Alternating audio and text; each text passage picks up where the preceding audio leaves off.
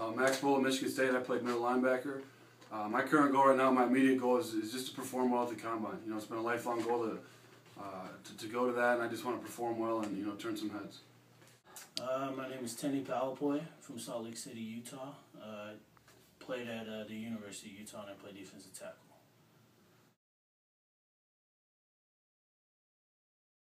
Uh, I've improved the most uh, while I've been training at Velocity is is probably been my speed and my flexibility, my ability to flip my hips, you know, open my hips, turn, change directions uh, in the field, whether it's in the drills or uh, in, in, linebacker work. It's it's really been a, a positive for me these past couple months.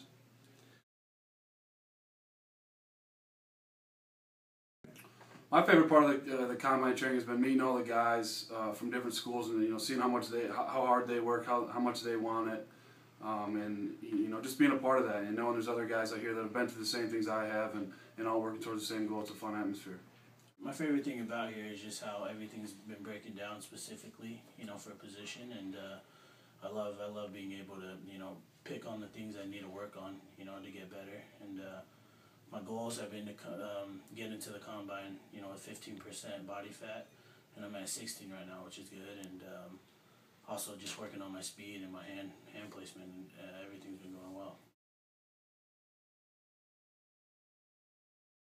Uh, training at Velocity and with Scott has been you know, it's been an unbelievable experience. I've learned so much. First of all, um, just about what we're doing, why we're doing. He's able to explain everything, and it all makes sense.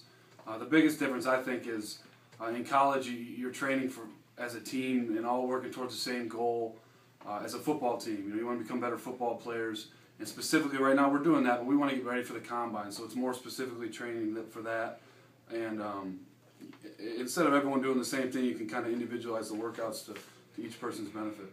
When you work out in college, everything you know, there's a set workout for everyone. You know, and working out here, it's been you know specifically for what you need and what you need to work on. And, and I think that's the biggest benefit of working out here is. Uh, you know, they pick at the parts that, that you need to work on, you know, the most, you know, whether it's strength for one person or speed for another, or um, you know, being able to to pick and, and pinpoint those spots is, has been uh, tremendous on all of us since we've been here.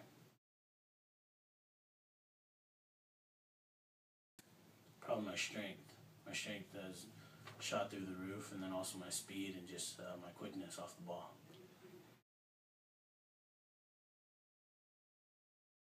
The greatest challenge remaining for me is, you know, we've been at it for a few weeks now, a month or so.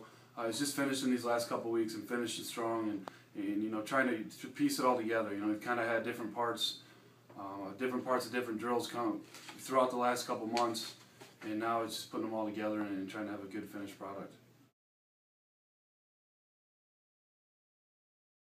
You tell those young kids out there playing football, I, you know, first of all, I'd say enjoy it. You know, enjoy some. You know, when I was playing uh, football when I was a kid. I, you know, it was fun, and it's some of the most fun football when you're a kid, whether it's middle school, Pop Warner, high school.